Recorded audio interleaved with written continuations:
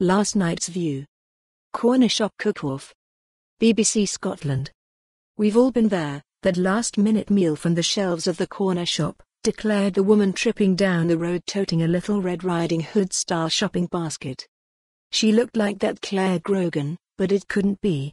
That Clare Grogan was the singer with altered images. That Clare Grogan graced a million teenagers' walls. That Clare Grogan's rosebud lips sang happy birthday on Top of the Pops.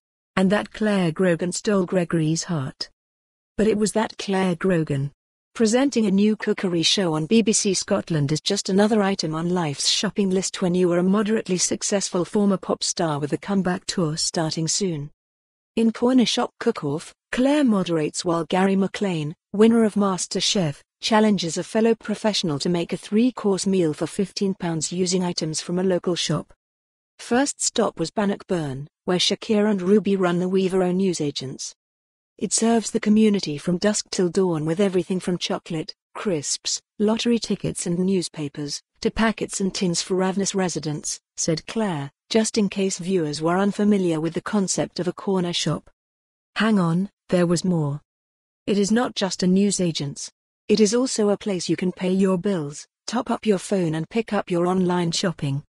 Anyone would think Clare was frantically engaged in the now standard BBC Scotland wheeze of stretching a half-hour programme into an hour. Yup, she was. In her presenting style, Clare started at widely enthusiastic and built from there. I love a bottle of limeade, she fizzed, taking us on a tour of the shop.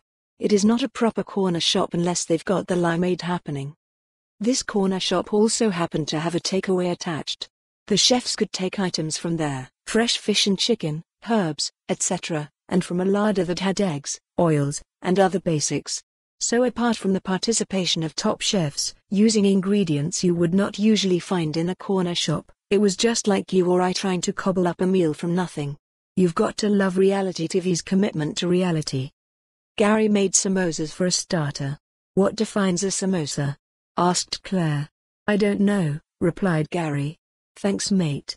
His opponent, Mark Ayres, who trained under Maclean and was now a private chef, went for baked eggs. Clare jollied them along with time checks, a la Bake Off and every other cookery show, and had a go at that all-important catchphrase. She was torn between, do you want to grab your basket and go shopping? And 321 cook off.